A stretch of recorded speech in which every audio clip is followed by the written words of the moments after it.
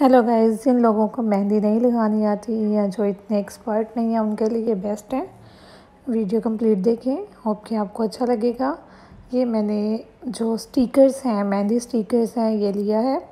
ये मैंने दो दिरम में लिया था।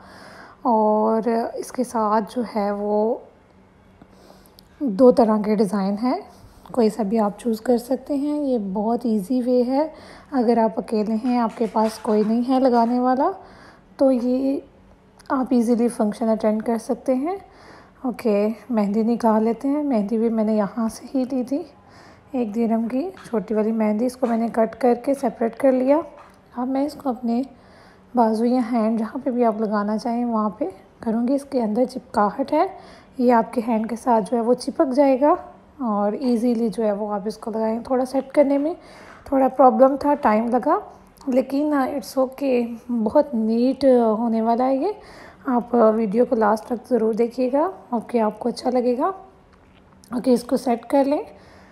अगर आप टैटूज़ वगैरह बनाना चाहते हैं, इसमें टैटूज़ में भी है मतलब छोटे छोटे टैटूज़ बने हुए हैं, वो भी आप लगा सकते हैं। ओके इसको लगा लिया। इसको लगाने के बाद इसके अंदर मेहंदी को फिल कर देंगे। और इसके अलावा और भी ऑप्शन है कि आप इसको ग्लीडर देना चाह रहे हैं तो वो भी बड़ा ज़बरदस्त लगेगा। आप इसके ऊपर ग्लू लगाएँ। ग्लू लगा के उसके बाद इसके ऊपर जो ग्लीडर है वो स्प्रेड कर दें।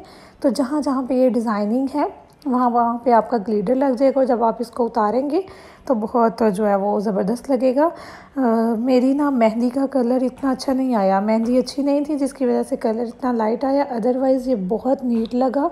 ऐसे लगा जैसे किसी एक्सपर्ट ने मेहंदी लगाई हो। वीडियो अच्छी लगे तो प्लीज़ लाइक और शेयर भी कीजिएगा।